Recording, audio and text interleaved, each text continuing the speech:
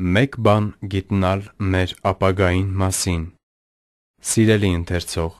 եթե հավատացյալ ես, ապագայիդ մասին որոշ բաներ գիտնալու համար տուն քեզ մի տանջեր։ Ներկան Աստծո պարգևն է։ Վայել է այդ պարգևը։ Միայն մեկ բան կա, որ պետք է գիտնաս ապագայիդ մասին։